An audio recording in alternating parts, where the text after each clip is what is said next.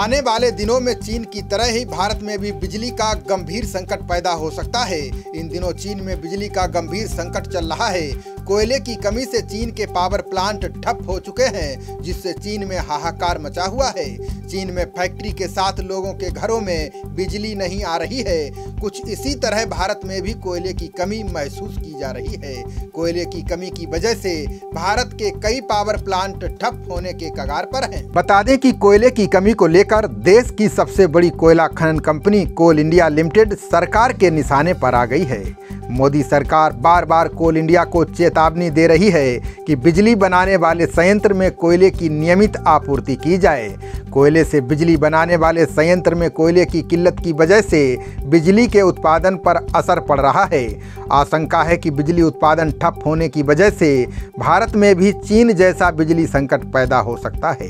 केंद्रीय agency central electricity authority के आंकड़ों पर अगर नज़र डालें तो देश के बहत्तर थर्मल पावर प्लांट में 8,817 मेगावाट बिजली का उत्पादन ठप हो चुका है।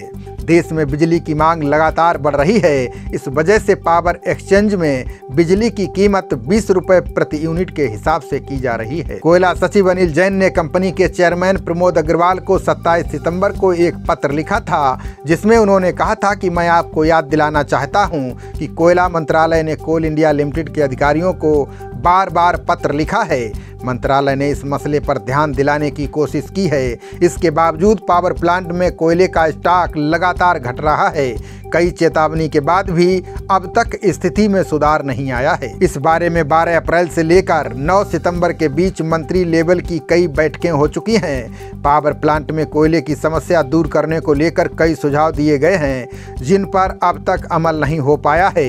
जैन ने कहा कि कोल इंडिया लिमिटेड को उत्पादन बढ़ाने से संबंधित कई सुझाव दिए गए हैं। अब तक कंपनी ने उन पर भी अमल नहीं किया है। बता दें कि देश में बिजली की मांग लगातार बढ़ रही है। जून के बाद से देश में बिजली की डिमांड 200 गीगावाट को पार कर गई है। इसके उलट कोयले का उत्पादन लगातार गिर रहा है। इस वजह से देश के सभी पावर प्लांट में कोयले की कमी देखी जा रही है। इससे पहले 21 अगस्त को खबरें आई थीं कि देश के सत्तावन पावर प्लांट को कोयले की कमी का सामना करना पड़ रहा है। इसमें से पाँच पावर प्लांट में कोयले का स्टॉक है। छह पावर प्लांट में एक दिन का बफर स्टॉक है। वहीं पंद्रह पावर प्लांट में तीन दिन का स्टॉक बचा हुआ है। खबरों का सिलसिला जारी रहेगा। देखते रहिए जनप्रवाद। नमस्कार।